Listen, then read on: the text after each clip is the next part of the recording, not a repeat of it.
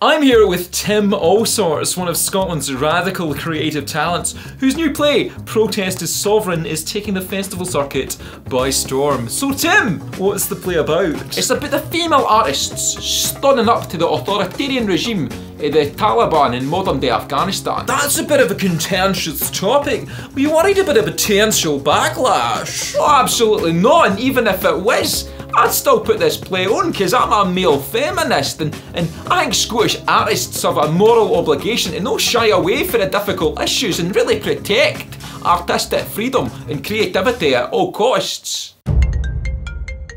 Oh my god, Sarah, hi, how are you? I'll be honest, Tim, I'm not doing good. I'm not doing good at all. Well, that's terrible. What's happening? They've ruined my life, Tim.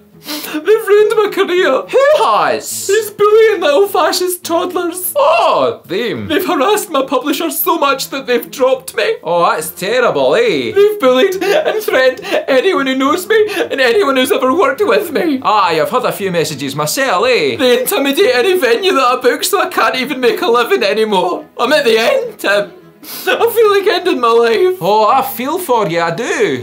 Can you do something? Like what? Get everybody together and take a stand. Publicly condemn all this shit. Oh, I can't really do that. Why not? Look, I totally agree with you. In private, that all this is totally bonkers and unacceptable. So why not say something publicly? I can totally support you privately. I need public support to help take a stand against this fascist shit. Look, Creative Scotland have made it clear. If I support you publicly, they cut me off. You wrote that play about Afghan women, but you won't even stand up for your friends when it fucking matters. That's like totally different. That's like how we all support press freedom in theory. But we all clap like seals when Scotland jailed Craig Murray. And you're taking this far too personally. Too personally? They ruined my fucking life, Tim. I can, and I don't mean to add to your woes, but I'm gonna have to publicly disavow you. Are you fucking serious? Look, didn't take it personally. It's just my fiance's one of these psychopaths, and she said that if I ever want my dick sucked again, well, thanks for your support, Tim.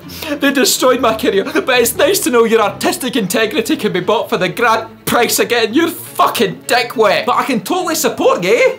Privately. Sarah! Sarah! Oh my god! That stupid bitch has been so unreasonable! Yo, yo, I'm in the light at the end of the tunnel. Paper stacks, yeah, I got them in the bundles. Harry Potter breaking bread with the muggles. They said I would a million, now they looking puzzled. They said I wouldn't